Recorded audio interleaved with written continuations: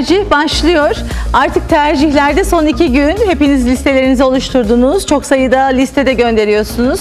Hepiniz için hayırlı olsun. Ama bakıyorum ki e, sıralamalarda değişiklikler yapmaya devam ediyorsunuz. Bu hoşuma gidiyor. İncelemeye, araştırmaya devam ediyorsunuz. Öncelikle yarın 23.59'a kadar listelerinize değişiklik yapabilirsiniz. Bunda bir değişiklik yok. Herhangi bir uzatma da yok. Onunla ilgili sorular da var. E, şimdi bugün hem sorularınızı cevaplayacağız. Tercihlerle ilgili nelere dikkat edin diye onları konuşmaya devam ediyor olacağız. Hem de bugün çok önemsediğim bir konuyu konuşacağız. Çok önemsediğim iki isimle. Ee, şimdi sizler artık başka bir bakış açısıyla hayata bakıyorsunuz ve eğitim sistemlerimizde, üniversitelerimizde e, şu anda mevcut bir düzen var. Acaba uyumlu mu? Yeni nesil bir eğitim anlayışı mı geliyor? Gençler ne talep ediyor? Ee, üniversiteler ve eğitim sistemimiz bunu karşılıyor mu sorusunu çok merak ediyorum. Ya da sizler bu sistem içinde nasıl hareket etmelisiniz ki geleceğe hazır olmalısınız? Biliyorsunuz bu yıl ilk programdan itibaren size alternatif ve mesleklerin dönüşümüyle ilgili özel yayınlar yaptık. Çok da ilgilendiğinizi görüyorum. O yüzden bugünkü programdan çok fayda sağlayacağınızı düşünüyorum. Ekran başına hoş geldiniz. Yanında iki kıymetli isim var. Profesör Doktor İhsan Sabuncuoğlu, Abdullah Gül Üniversitesi Rektörü. Hocam hoş geldiniz. Hoş bulduk. Ee, İhsan hocamı bu konularla ilgili çok özel, çok kafa patlatıyor öyle söyleyeyim. Ee, çok araştırıyor. O yüzden bize çok ciddi rehberlik yapacak bugün. Bol sorun var. Ee, memnuniyet araştırmalarında da Abdullah Gül Üniversitesi hep böyle ilk beşlerde nasıl o hale geldiğini de merak ediyorum. Onu da soracağım. Diğer ismi zaten yakından tanıyorsunuz. Burak'la birlikteyiz. Burak Kılanç. Hoş geldin. Hoş bulduk. Dünden bugüne çok çalışmışsın, yorgun gözüküyorsun. Yok şimdi yani olay sadece işte tercihler değil, değil tabii. Hani sonuç genel sekreteri olduğumuz üniversitenin de pek çok işi var. Hem tercihler hem de yeni eğitim öğretim yılında. Şimdi herkes şöyle zannediyor. Hocam da herhalde katılacaktır. Ee, bitti ya dersler. Aa, o zaman siz rahatsınız falan diyorlar. Tam tersi. Yapıyorsunuz, yok öyle bir şey. Eğitim kurumlarının esas yaz aylarını çok iyi geçirmesi gerekiyor ki gelecek olan öğrencilere Tabii. e, yeni eğitim öğretim akademik yılda çok daha hani e, farklı bir daha gelişmiş bir ortam sunabilecek. Bunun hazırlıkları da pek kolay olmuyor. Yalnız bir şey tabii önemli. Hatırlarsan e, ilk programı birlikte yapmıştık Evet. ve demiştik ki tercih döneminde e, çok e, hızlı davranmayın, aceleci davranmayın.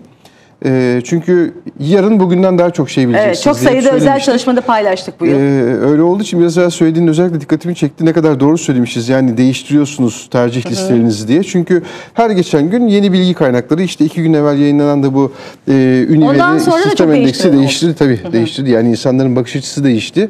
Ee, Hani dün de kamera arkasında konuşuyorduk. İnsanların mezun olduktan sonra bazı mesleklerle ilgili neyin ne olduğunu işin içine girerek anlaması yerine şu anda bu gibi çalışmalarla önceden biliyor olması çok faydalı. Evet. İyi oldu. Gene Onu hatırlatalım. incelemeye devam ediyorlar. İnceleyeceğiz, evet. İncelemeye devam ediyorlar. Sevgili arkadaşlar lütfen e, program boyunca da merak ettiklerinizi sorun. Biz de ona göre sohbetimizi yönlendirelim. Akıllı tercih başlasın.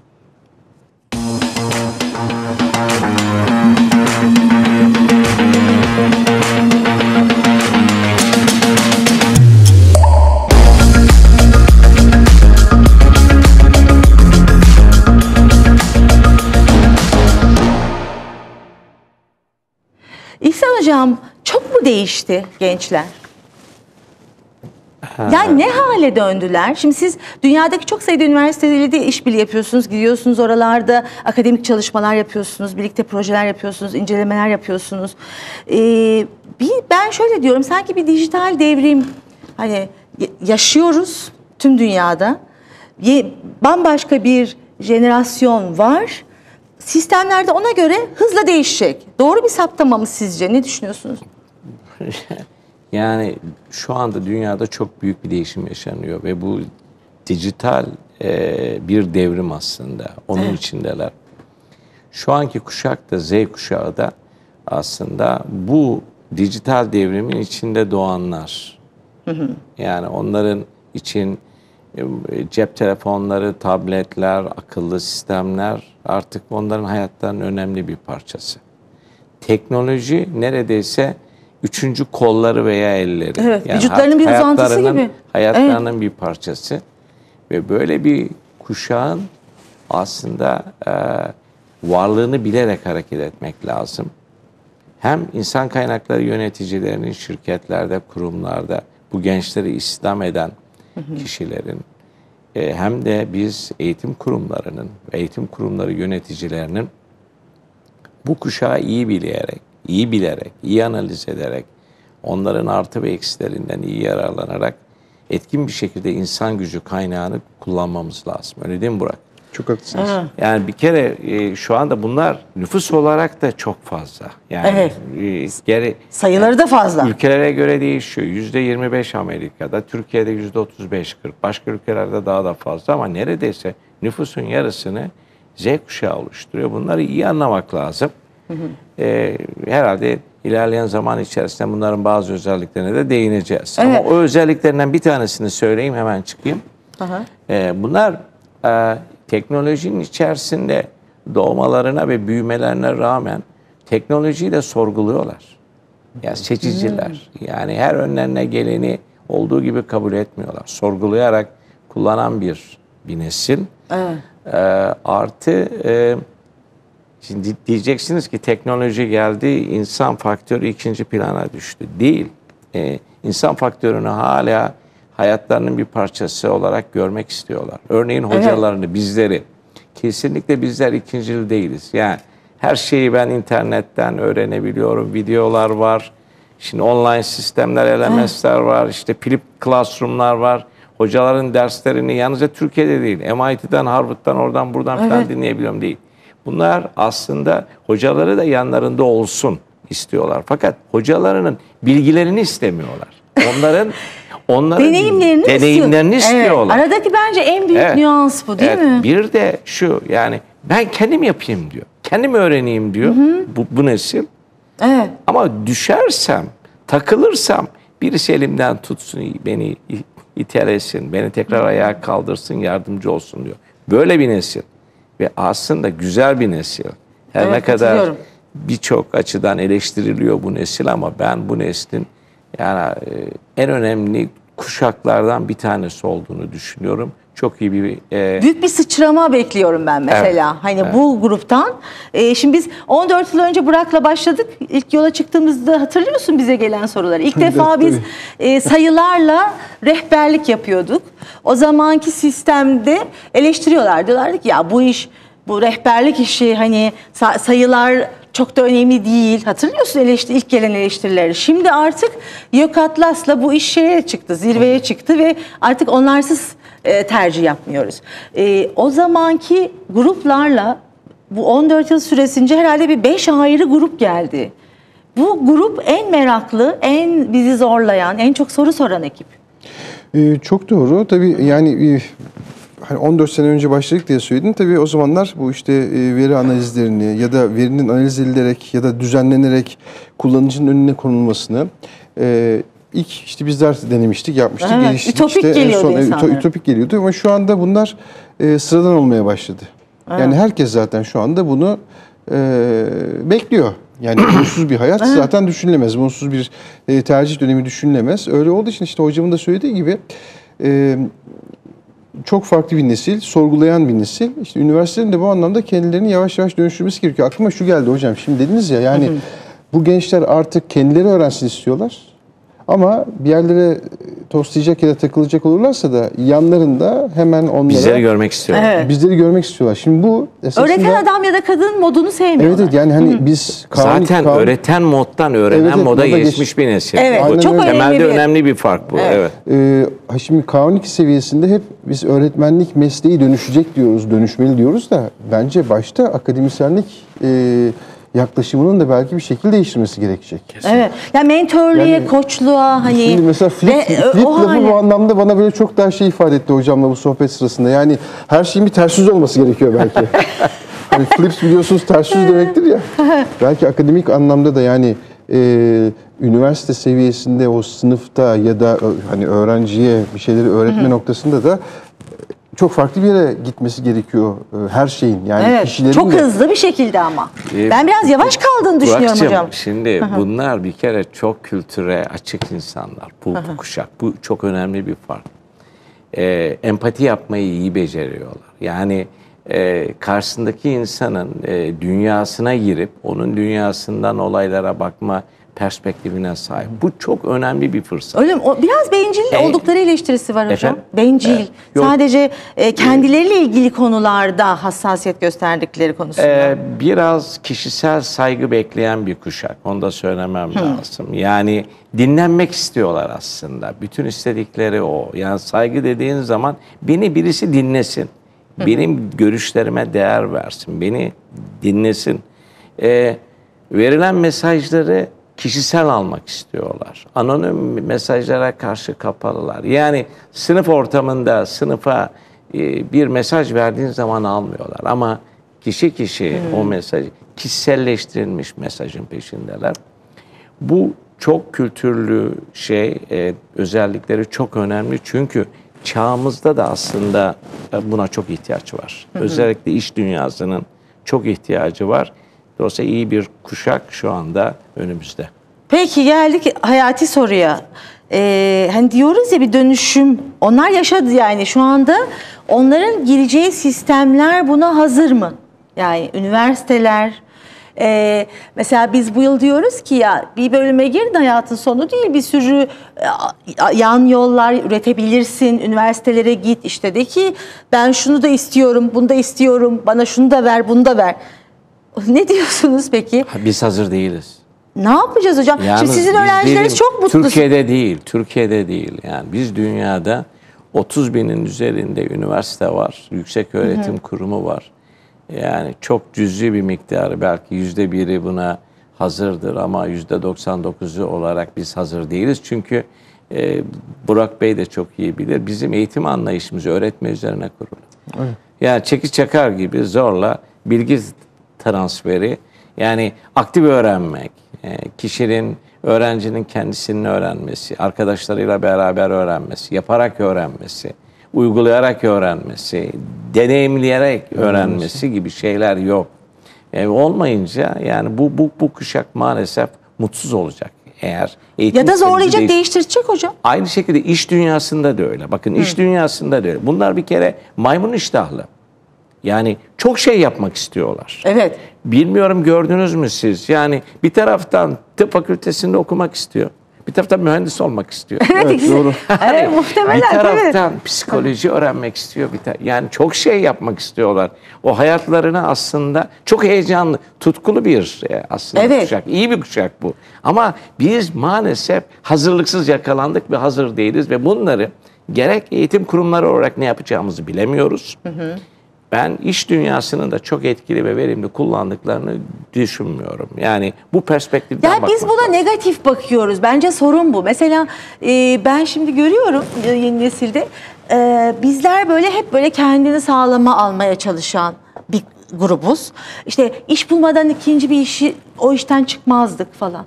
Bu öyle değil. Bunlar risk alıyor. Risk alıyor girişimci. yani. Bunlar Evet. girişimci, risk alan bir e, şey kuşak. Ne Evet. güzel. Tam aradığımız. Ama sistemimiz ve yöneticilerimiz maalesef e, çok yatkın Hocam değiller. daha önce de konuştuğumuz gibi esasında hani e, bazen eleştiriyoruz ama bazen de işte mesela risk alan bir e, kuşak bu kuşağa sahip olmak çok güzel diyoruz ama bunu kanalize edemedikten sonra doğru şekilde yani yönlendiremedikten sonra bu Mutsuzluk potansiyelden işte. Hocam potansiyelden faydalanamadığınız takdirde e, sıkıntı oluyor. Yani bireysel olarak da sıkıntılar oluyor. E, bireylerden oluşan toplumda da sıkıntı oluyor. Ee, tabii bir şey açıkçası yani hocamla konuşurken hep arka tarafta farklı şeyler böyle yerine oturuyor. Şöyle yerine oturuyor.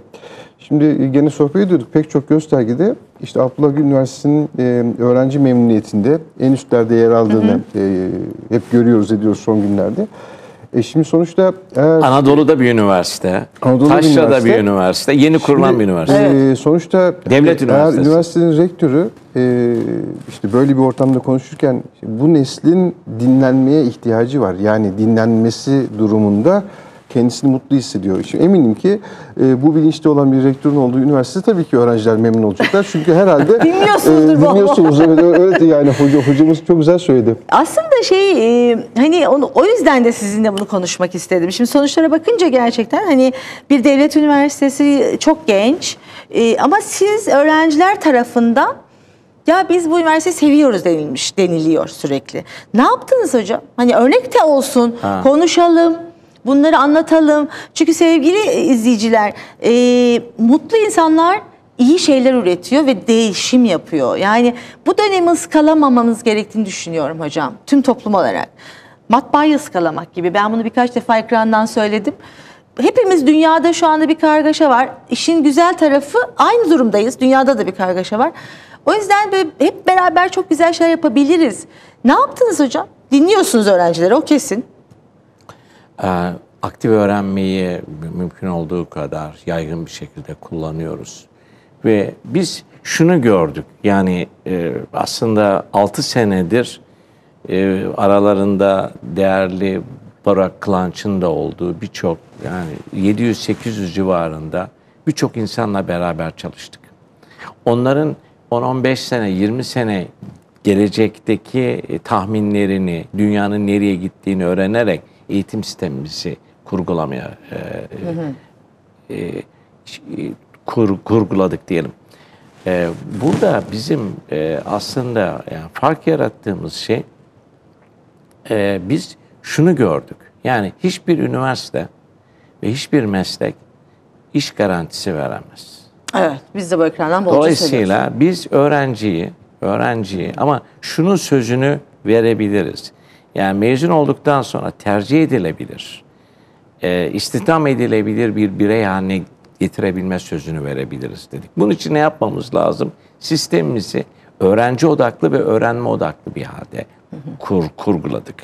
Aktif öğrenmeler vesaireler o zaman geldi.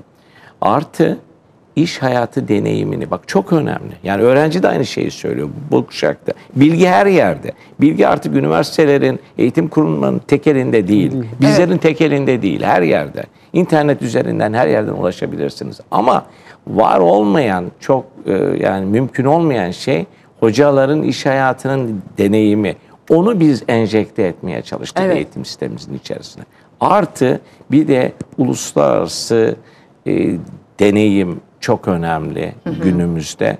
Tamamen İngilizce eğitim yaptığımız için mümkün olduğu kadar vakfımızın da desteğiyle öğrencilerimizin tamamını 1, 2, 3 belki 12 kez yurt dışı deneyimi imkanı sağladık. İşte yani bir taraftan iyi bir eğitim sunuyorsunuz, aktif öğrenmeyi esas alan e, ve onların onları e, dinliyorsunuz, değer veriyorsunuz. Derslerin içerisinde aktif olmalarını sağlıyorsunuz. Dünyanın küresel meselelerini konuşuyorsunuz. Yani bizim müfredatımızda 6 tane bütün üniversitenin aldığı küresel meseleleri e, yani açlık, e, e, bunun içinde adalet de var, bunun içinde sürdürülebilirlik de Çevre var. mesela. Yani bütün üniversitenin birlikte aldığı e, toplumun sorunu. Yani tabii ki en temel aslında e, bizim farkımız şu oldu. Biz toplumla entegre olmayı e, için çok çabaladık. Hani üçüncü nesil üniversite sözcüğünü Evet. ilk biz ortaya atmıştık ki aslında o üniversitelerin üçüncü misyonuna atıfta bulunmakta. O da toplumsal etki. E, e, ki bu sene Times Higher Education bizi ya yeni kurulmuş 6 yıllık bir üniversiteyi dünya üniversiteler sıralamasında 100-200 bandında bir yere yerleştirdi bizi. Olacak şey değil. Yani bulunduğunuz çevreyi dönüştürme ve etkiniz Evet, anlamında. Evet, şehre olan katkıda dünya dördüncüsüyüz. Evet. Ee, yani toplumsal cinsiyet eşitsizliğini giderme noktasında dünya 58. Yani üniversite olarak. Ee, tüm bunlar ya toplumla entegre, şehirle entegre. Ama toplum dediğimiz yalnızca yani Türkiye'deki toplum da değil, Kayseri değil, dünyayla, Dünyayla. entegre bir şekilde eğitim sistemimizi sürdürmeye çalıştık Evet. ve e, dolayısıyla öğrenciler de kendilerini farklı bir ortamda buldular. Değişik Peki, bir ortam. Hocam şimdi e, hani bunları artık gençler talep ediyor. Ve ben eninde sonunda gençlerin bu sistemimizi de o hale dönüştüreceğine inanıyorum. Böyle de bir güçleri var. Çünkü taleplerinden geri adım atmıyorlar mesela. Bir şeye inanıyorlarsa siz ne söylerseniz söyleyin ikna edici, çok ikna edici olmadığınız sürece geri adım atmıyorlar. Bu da onların özelliklerinden biri. İnatçılar yani. E, peki Burak mesela biz şimdi bu yıl bir sürü veri sunduk onlara. Mesela YÖK Atlas'ı kullanıyorlar. Şimdi ben şunu gördüm arkadaşlar hani bazen eleştiriyoruz ya gençleri. Ya işte aynı popüler alanlara gidiyorsunuz işte 30 tane bölüm konuşuyoruz. der yani bilgi ulaşılabilir hale ve onların dilinde olduğu zaman mutlaka onu buluyorlar, öğreniyorlar. Yani sanki mesela Yok Atlas bu yıl ne kadar kullanıldı? Şu an sayıyı tahmin edemiyorum. 2,5 milyonu aşacak diye ben tahmin ediyorum açıkçası. Çünkü e, işte 1,5 e, milyonu aşmıştı bundan bir 4-5 gün önce. Geçen sene 2 milyon diye ilan edilmişti. 2,5 milyonu aşar. Tabii olay şu yani benim de şöyle bir gözlemim var. E, bizim gençlerimiz gerçekten önlerine e, güvenilir, güvendikleri, pratik bir şey koyduğunuzda sonuna kadar kullanmaya çalışıyorlar. Yıllar içinde, işte bu 14 sene içinde gelen soruların niteliğine İnanılmaz değişti baktığınızda nitelik, gerçekten değişmeye başladı. Ee, 14 sene önce hiç kimse sistemi adam gibi bilmiyordu. Şimdi sistemi öğrendiler, işin matematiksel tarafını. Olayın sadece başarısız ve puanı olmadığını anladılar. Ee, o üniversitedeki farklı göstergeleri artık yavaş yavaş odaklanmaya başladılar. Güzel tarafı şudur ki Ankara'daki bir takım e, devlet kurumları da, şemsiye kurumlar da bununla ilgili gençleri besleyecek veriler sunmaya başladılar. İşte Yok Atlas, en son Cumhurbaşkanlığı İnsan Kay- evet. Kaynakları Ofisi'nin istihdam araştırması. Artık etrafta veri var. Veri olduğu için hatta işlenmiş veri var. Bunu kullanmak isteyen gençler ki kullanıyorlar. e, gerçekten daha sağlıklı tercih yapıyorlar gibi gözüküyor. Ee, mesela işte bugün bir veliyle ben konuştum. Ee, şunu söyledi bana işte girdik Yok Akademik'te şu üniversitenin şu kadar akademisyeni olduğunu o bölümde. Diğerinde şu olduğunu, diğerinde bu olduğunu. Bu hocaların uluslararası e, network'ünün nasıl olduğunu oradan gördük ve işte ona göre buna karar verdik. Ne dersiniz diye bir fikir sordu. Evet. Şimdi hani sorunun yani soruyu yanıtlamak bir tarafa böyle bir sorunun gelmiş olması beni çok mutlu Keyif etti. aldı, Çünkü e, demek ki artık yavaş yavaş insanlar daha bilinçli bir şekilde ilerliyorlar. Evet. E, kaynak ne kadar çoksa, daha doğrusu veri ne kadar varsa, işleniyorsa ve paylaşılıyorsa e, bunun sonuçları da pozitif olarak mutlaka yansıyacaktır ki e, ben bu sene örneğin bir aksilik olmazsa e, çok daha e, doluluk oranlarında yükselme bekliyorum. Ve e, pek çok artık kişinin de e, bilinçli tercih yapmasını gözlemlediğimizden dolayı e, gelecekte yavaş yavaş üniversite sınavına giren insanların sayısının düşeceğine inanıyorum. Evet, daha bilinçliler çünkü. Hocam şimdi e, hayati konu. Şimdi arkadaşlarım doğal olarak biz üniversite mezunu %26 gibi bir işsizlik konuştuğumuz için e, iş bulma kaygısı e, bir konuğum ilk programda konuşmuştuk. Aslında bu onların kaygısı değil. Bizim onlara yansıttığımız kaygı, toplumsal bir kaygı demişti. Çok da katılıyorum bu düşünceye. İş bulacağım e, bölüme gireyim duygusunu çok arttırdı. Son 6-7 yıldır bu duygu çok arttı. Biz o yüzden son 2 yıldır özel çalışmalar yapıp diyoruz ki hani bunu tek başa koyduğun zaman seni kısıtlıyor. Oysa dünya değişiyor bak hani belki de şimdi var olmayan bir takım meslekler yaratacaksın. Bazı alanlar olacak. Sen onlara hazır ol demeye çalışıyoruz bu programdan. Şimdi dünya mesela bu genç işsizlik konusunda üniversiteler nasıl konumlanmış? Sizin çok dünya üniversitelerini gözlemleriniz, çalışmalarınız olduğu için soruyorum ve çok merak ediyorum bu konuyu. Hani iş bulma konusunda üniversiteler nerede duracak? Ve e, bu genç kitlenin bu işsizlik kaygısını biz nasıl daha verimli bir hale döndüreceğiz? Çok hayati bir soru, çok zor bir soru. Bunu Bu bir... yani bir iki dakikada cevap vermek çok mümkün değil ama şunları söyleyebilirim. Hmm. Yani biz üniversite bazı şeyler yapılabilir. Örneğin bilgi transferinden vazgeçip üniversiteye gelen öğrencinin yetkinliklerini geliştirme üzerine ağırlık verebiliriz. Yani yetkinlik temelli, müfredatlarımızı yetkinlik temelli yapabiliriz. Mesela hocam yetkinlik derken dil yetkinliği, teknoloji kullanma yetkinliği gibi şeylerden bahsediyoruz. Girişimcilik yetkinliği. yaratıcılık e, gibi e, zor sorunları, problemleri hızlı bir şekilde çözme yetisi gibi bir takım yetkinlikleri kazandırabiliriz. E, bunları bilinçli bir şekilde müfredatların içerisine sokabiliriz. Aslında varmış gibi gözüküyor ama yok. E, ikincisi şu, e, bir endeks var, bir istatistik var. E, ye- yetenek uyuşmazlığı deniyor ona. Ben hep bunu söylüyorum. Dünyada bu yüzde 40, Türkiye'de yüzde 67, 70. Yani bir tarafta aslında şirketler, kurum ve kuruluşlar kaliteli, nitelikli insanları arıyor, bulamıyor.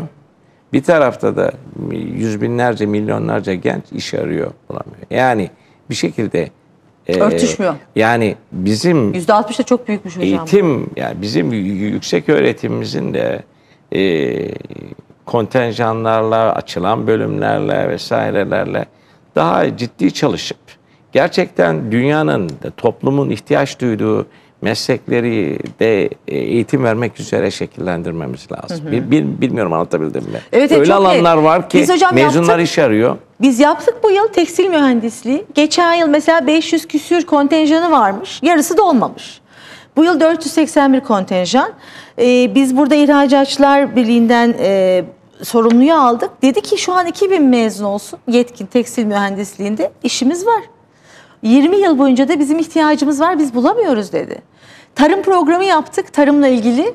Ee, şu anda işte büyük teknoloji firmaları müthiş bir tarım yatırımları yapıyorlar.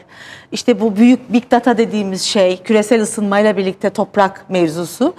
Mesela dediler ki ya işte teknolojiyi kullanan e, ziraat mühendislerine ihtiyacımız var. Hani artık akıllı sulama var, akıllı makineler var. Bambaşka şeye gidiyor. Biz bulamıyoruz dediler. Bakın Alev Hanım sene i- 2006 Endüstri Mühendisliği Bölüm Başkanı e, oldum Bilkent Üniversitesi'nde. E, Türkiye'nin en büyük endüstri mühendisliği programı yaklaşık 180 kişi alıyor. Ben oturdum. Devlet İstatistik Enstitüsü Devlet Planlama Teşkilatı ki o zaman vardı. Mektup yazdım. Dedim ki Türkiye'nin en önde, en güçlü en endüstri mühendisliği programını ben yürütüyorum, yönetiyorum. Türkiye'nin hem sayı olarak hem e, karakter olarak yani özellik olarak ne tür endüstri mühendislerine ihtiyacı var? Kurum ve kuruluşların bana söyleyebilir misiniz? Ben ona göre eğitim programımı şekillendireceğim dedim. Benim mektubum bir o tarafa gitti, oradan öbür tarafa gitti, oradan öbür tarafa gitti. Sonuçta hiçbir şekilde cevap alamadım. Oturdum bütün insan kaynakları yöneticilerine, Türkiye'nin top 500 şirketinin insan kaynakları yöneticisine mektup yazdım. Dedim ki aynı şekilde ben endüstri mühendisi yetiştirmek istiyorum ama sizin ihtiyaçlarınızı dikkate alarak yetiştireceğim. Kaliteli insanlar yetiştireceğim. 500 tane mektubu e, gönderdim, 25 tane cevap aldım. Yani böyle de bir sıkıntımız var. Evet. Bilmiyorum anlatabildim mi? Yani biz eğitim kurumları evet bazı şeyler eksik yapıyoruz vesaire filan ama artık eğitim kurumlarıyla e, iş ve sanayi dünyasının yani bizim yetiştirdiğimiz insanları bir araya getirecek olan müesseselerin bir araya gelip bunları konuşmamız lazım ve uzun vadeli planlar yapmamız lazım. Bakın şu anda da bir tehlikeyi ben görüyorum her yerde. Geleceğin meslekleri, geleceğin meslekleri, geleceğin Evet, ben onu meslekleri. kullan- mesleklerin geleceği dedik Yani bizim. bu Kore'de de bu konuşuluyor, Amerika'da da bu konuşuluyor, orada da bu konuşuluyor, burada da bu konuşuluyor. Yani senin kapasiten ne? Bunun için bir altyapın var mı, yok mu? O bir meslek Kore'de iyi gelişebilir, Japonya'da iyi gelişebilir, Amerika'da iyi gelişebilir.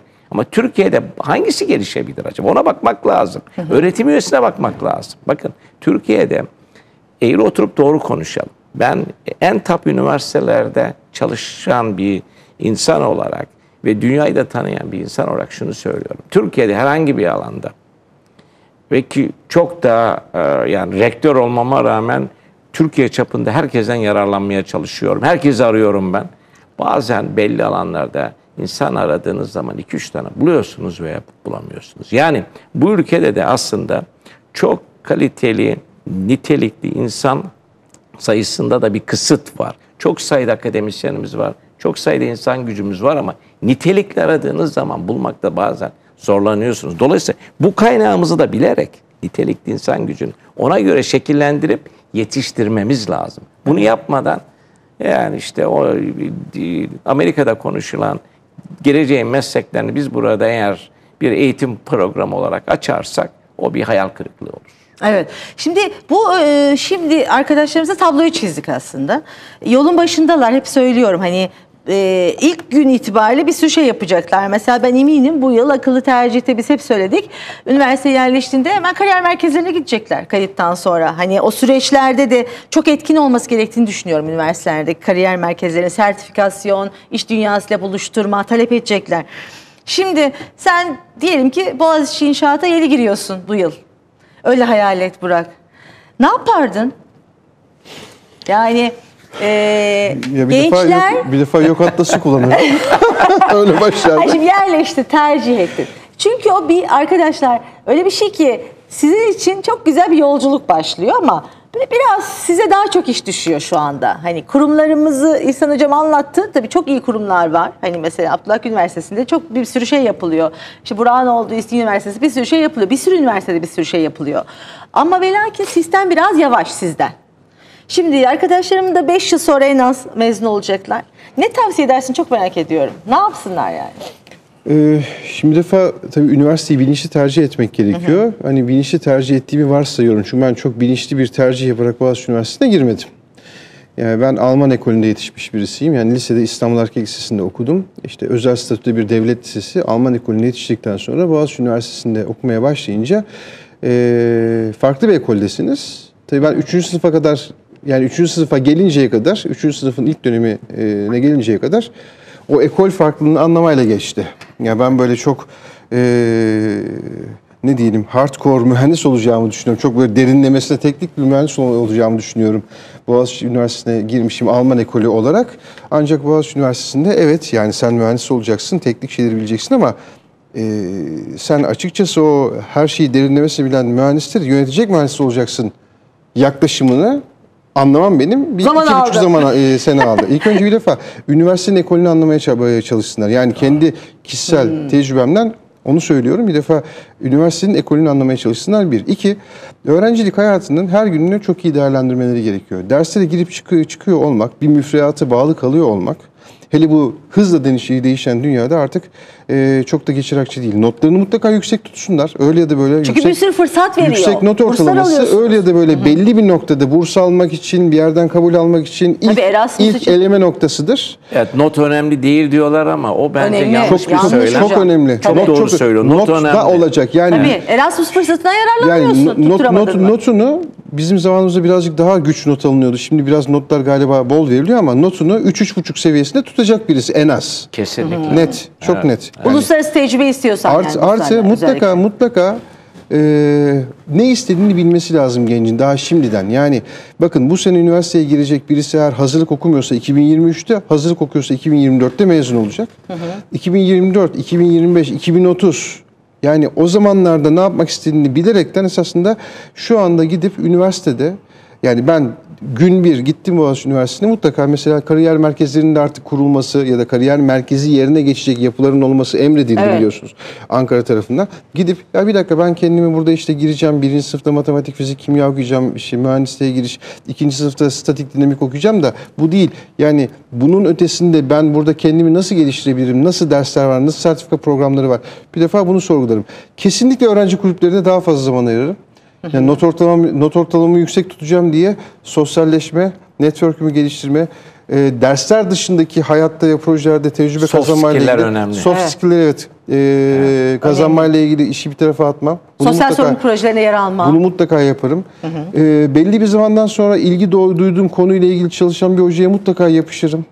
Ben yapıştıydım çok şükür. Benim 3. sınıfın sonunda bir hocamın odasında ufak bir masam vardı. Onun projelerine yardımcı oluyordum. 4. sınıfta hatta Levent tane- değil mi? Levent Hoca'nın mı? Levent Hoca değil o bir şeydi. Cem Avcı Hoca sağ olsun işte biz e, yeraltı sularının e, matematiksel modellemesi konusunda bayağı sıkı çalışıyorduk o dönemlerde. Ama bütün bunları yapmak lazım. Neden biliyor musunuz? Mesela işte yurt dışına gitmek istiyorsanız not ortalamanız yüksek. Evet. İşte girdiniz GRE'den, TOEFL'dan yüksek puan aldınız. Ama bunun ötesinde eğer hocanızın kişisel bir sıkı kontağı varsa yurt dışındaki bir üniversiteyle Arıyor oradaki hocayı. Oradaki hocayı arayıp oradan e, sizin için bir kanal açılmasına vesile olabiliyor. Öyle olduğu için mutlaka hocalarınızla yakın ilişki içinde olmanız gerekir. Ben de yani üniversiteyi sonuna kadar kullanmak öyle söyleyeyim. Ben şu anda Boğaziçi Üniversitesi İnşaat Mühendisliği bölümüne tekrar başlayacak olsam Evet. üniversiteyi her anlamda sonuna kadar kullanmayla ilgili her türlü fırsatı değerlendiririm. Bunun dışında mutlaka e, sektörde staj yapmak, çalışmak artık sadece öğrenci olmak değil, öğrenciyken çalışmak önemli. Evet. Yani eğer mümkünse üniversite çatısı altında bir projede çalışmak. Çünkü zor olur yani hani derse gir oradan Evet. işte iş dünyasına git Öğrenci asistanları oluyor Böyle bir mi? şeyler yapmaya çalışırdım. Şimdi ben de heyecanlandım o yıllara gittim. Bu arada Burak'ın söylediği üniversiteyi etkili bir şekilde kullan. Hani Burak söylüyor onu. İzleyiciler yanlış anlamasın. Yalnızca üniversitenin kütüphanesini, dersliklerini, şunu bunu filan değil. Üniversitenin e, il- iletişim içerisinde, işbirliği içinde olduğu şirketleri de. Aynen öyle. Yani paydaşları da sivil toplum kuruluşlarını da çok etkili bir şekilde kullanması lazım. Evet. Veya uluslararası işbirliği yaptığı kurum ve kuruluşlar varsa onları da kullanması lazım. Evet. Yalnızca yani yurt, e, derslik ve kütüphane üçgenin içerisinde yaşamaması lazım. Değil mi? Sen Çok doğru. söylüyorsun. Yani üniversitenin etinden sütünden yararlansın derken aslında daha şey, geniş bir perspektiften bak. Yoksa Yoksa sıradan olur. Sıradan olduğunuz zaman hani da olmaz. üniversitesinde yok ama istiyor. Tercih edilen bir birey olmaz, iş arar, e, mutsuz olur. Ben çok somut bir şey söyleyeyim mi? Dün de konuştuk ya. Hani şu istihdam endeksinde ücretlerde ortalamalardan bahsediliyor diye hani Evet. şikayetler geliyordu. Ortalama olduğun zaman işte o 2500-2800 lira maaş alırsın. Ama işte o yüzde 1.8'e girersen de 6000 lira maaşla başlarsın. Evet. Yani hani somut örneğinden gidelim. Ee, çok net böyle. Ee, yani hangi üniversite olursa olsun arkadaşlar yani mesela de- e, şimdi eleştiriler gelmiş mesela bir tane gördüm diyor ki "E, yok üniversitede ne yapayım ben diyor. Yerleşmiş bir arkadaşı. Ya Bu dediklerin yok, üniversitede bakın Alev yok abla olması diyor. ama şimdi vesile olmak da önemli ya. Yoksa arkadaşım birisinin kapıyı açması lazım. Sen o zaman ilk olacaksın. Yoksa gideceksin. Baktın şey staj ayarlamıyor üniversite hemen oradaki ticaret odası, sanayi odası, organize sanayi Küçük bölgesi. önerim var. Hemen git. Ne Rektör, hocam? rektör beyden randevu alsın. Aynen öyle. Bulunduğu üniversitenin rektörü. İlk önce kendisi adım atacak. Rektör bey de mutlaka yani biz rektörler mutlaka öğrencilere randevu veriyoruz. Konusunu söylesin. Yani niçin Korkmayın randevu yani. aldın? Oradan başlasın. Şu sihirli değnek sendromundan kurtulmamız gerekiyor. Evet. Bakın Birileri gelip de böyle Hayır, sihirli değnek- Dokunacak da öyle her şey Öyle bir böyle şey bir şey yok. Üç dil Yani, konuşacağız, e, teknolojiyi kullan. Öyle bir Sen şey yok. değiştireceksin. Süreci siz yönetmezseniz, hayatınızı siz yönetmezseniz başka birileri sizi yönetir. Çok Evet. temel kural. Kariyerinizi siz yönetmezseniz, şekillendirmezseniz birilerinin şekillendirdiği şekilde bir adam olursunuz. Onun için e, önemli olan siz kariyerinizi nasıl şekillendirmek istiyorsanız bunu bilin. Üniversitede talepkar olun.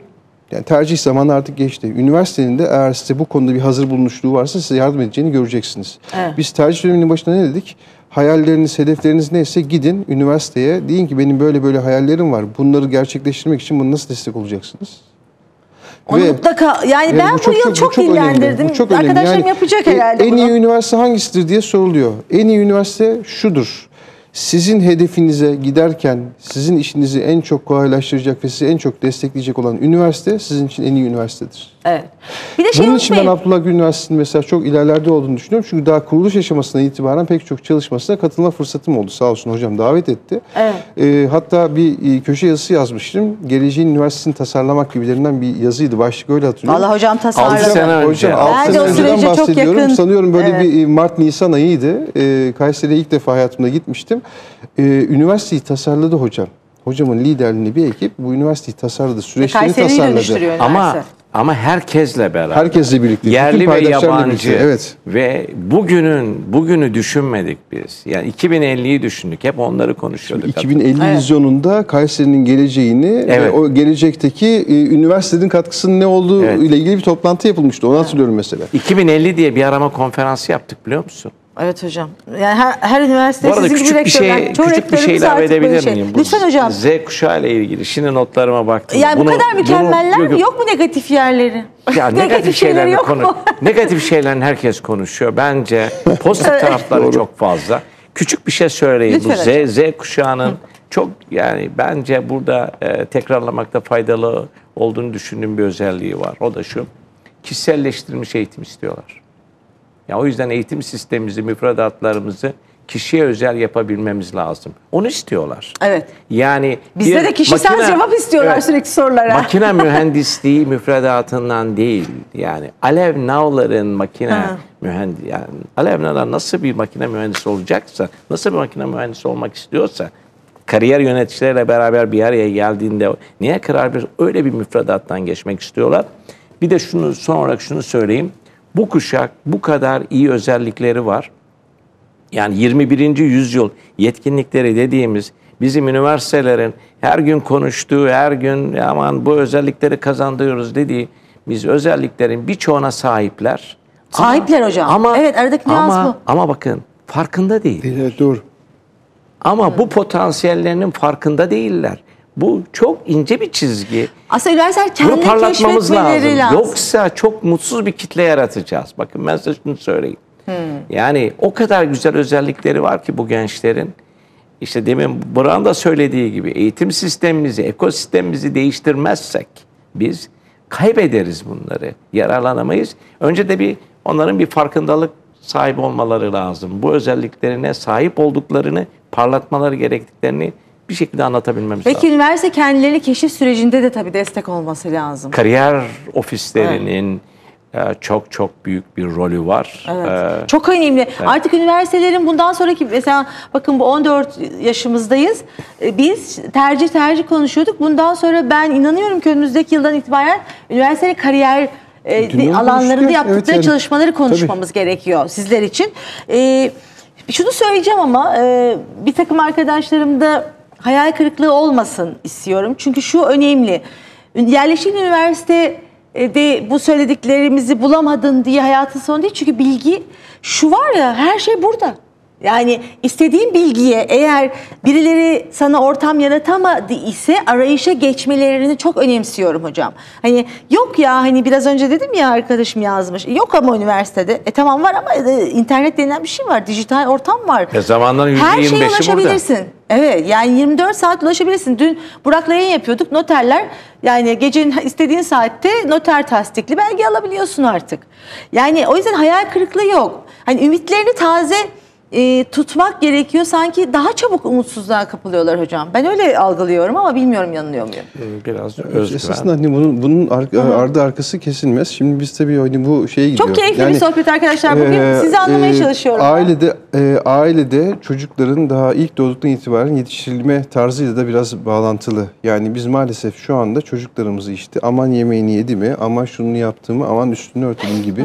Tabii ki hani e, gerekli kadar, gerektiği kadar yapılmalı ama biz öyle bir alıştırıyoruz ki e, çocuklar biraz evvel söylediğim işte bu sihirli değnek sendromuna esasında e, kapılıyorlar. Ben öyle isimlendireyim kendimce. Evet. Bir de şu da var bak, bana verilsin, imaj devri Her hocam. şey bana verilsin. Ne sihirli değnek. Sihirli Sihirli değnek, yani bir, bir, sihir, bir, bir, birisi gelsin sihirli değneği dokundursun. Bir anda örneğin ben işte e, çok iyi iletişim becerisine sahip olayım. Sihirli değneği dokundursun Evet. e, ve işte staj imkanları önüme serilsin. Yani biraz önce söylediğim gibi bir yerde bir şey yoksa bu konuda öncü olmak mümkündür. Bunların bir fırsat Tabii. olduğunu da değerlendirsinler. Evet gönül ister ki mesela o üniversitede stajla ilgili imkanlar olsun. E, yoksa bunun kapısını açmak da o e, arkadaşımızın bir belki görevi olmalı, bir Belki fırsatı fırsat olmalı. sana, tabii. E, hocam çok güzel söyledi. Hiçbir rektör öğrencisinden gelecek makul, mantıklı bir randevu talebini reddetmez. Reddetmez. Gitsin. Hocam ben benim böyle böyle bir hedefim var. Çok teşekkürler beni kabul ettiniz. Böyle böyle şöyle şöyle şöyle şöyle bunu yaparsak iyi olur. İyi hazırlık yapsınlar yalnız. Yani rektörün e, zamanı kıymetli. Burak randevu vermezse rektör bey mail atsın. Mail atsın. WhatsApp mesajından e, mesaj göndersin. Pes etmesin. Evet, pes etmek yok işte. Pes Evet, etmek yok. Pes, Pes etmek, etmek yok. yok. Böyle bir lüksünüz yok. Ee, yani 45 dakika su gibi aktı. Hani daha çok soracağım soru var da. Şimdi hocam tüyo var mı tüyo? Yani bu kadar geziyorsunuz ediyorsunuz üniversitelerde Neyle- arkadaşlarıma neyle gelecekti ya şu alanda sanki böyle fırsatlar görüyorum gibi Sihirli- şeyler var sihirli mı? değnek diyorsun. Her alanda mı var yoksa? Valla yani dünyayı gördüğün zaman çok etkileniyorsun tabii yani bu akıllı sistemler, Akıllı veri sistemler. veri analizi, e, veri yönetimi, verilerden e, katma değerler çıkartmak, biyo bir de biyo. Biyo. Evet. Biyo yani, yani bence çok önemli şeyler bunlar. Evet. Oraya doğru gidiyoruz. Yani özellikle de organik bilgisayarlar üzerine çalışıyor Amerika. O çok etkileyici bir şey. Bizlerin o konuda henüz bir araştırması yok. Yok. Evet. E, hocam hani mühendislik konusunda özellikle e, inanılmaz bir vizyona sahip olduğu için bu soruyu sormadan olmazdı ama biyo evet yani şu an büyük milyar dolarlık şirketler hep biyo biyo olan yerler. Yani hocam- Süre bitmiş Burak son sözle. Gelmeden bir toplantıdan çıktım geldim dedim ya hocam bu bahsetmiş olduğunuz biyo bilgisayarlarla ilgili laboratuvar tasarımı, e, laboratuvar yeri tasarımı yapıyorduk. Öyle mi? İnşallah iki seneye kadar sizi davet edeceğim Çok ben. güzel. Çok Veri güzel. değerleme ama sevgili arkadaşlar veri veri veri her taraf veri onları değerleyen sonuç çıkaran Burak gibi kişiler e, önümüzdeki dünyada daha da önemli olacak. Çok keyifli bir sohbetti hocam. E, aldım. kırmadınız geldiniz Kayserilerden. E, Abdullah Üniversitesi'nin tanıtım günleri de devam etti. Ekibiniz de çok iyi çalışıyor biliyorum. Onunla ilgili sorularınız varsa da şu anda da devam ediyorlar haberiniz olsun. Tekrar görüşmek üzere hocam. Memnuniyetle tabii. Burak görüşürüz. Bugün Görüşürüz. son mu senin tercihli yayınımız? Son galiba. Sen sanıyorum son. Seneye artık. Seneye öyle Seneye yeni projelerle İnşallah herkesin gönlündeki gibi olur. Evet. Yarın 23.59'a kadar tercih listelerini güncelleme şansına sahipler. Ee, büyük bir ihtimalle bayram öncesinde ÖSYM herhalde e, açıklar. Ben 9 Olmazsa bayram Ağustos ya da sonrası. 10 Ağustos engage. Yani onu Evet. onu kalmaz gibi geliyor bana. Dün söylemiştik Göreceğiz. benim Bu tahminimi arada söyleyecektim. şunu da söyleyelim. Eğer istedikleri bir bölüm, istedikleri bir şey çıkmazsa kesinlikle hayal kırıklığı yaşamasınlar. Çünkü e, üniversite hayatları boyunca birçok şeyi telafi edebilirler. Evet. Bulundukları, seçtikleri alanda. Hayat diplomada değil. Başka şeyler de var. Başka faktörler de var. Mutsuz olmasınlar. Mutsuz olmasın. Süren bitti. Ee, çok teşekkür ediyorum. Her iki e, hocama da çok teşekkür ediyorum. Size başka bir şeyler söylemek istedik bugün. Yarın da tercihlerin son gününde aynı saatte bu ekranda sizleri bekliyorum. Sorulara devam. Bugün İlker 23'te yine sizinle birlikte olacak. YouTube'dan canlı yayınımızda. Yarın aynı saatte görüşelim.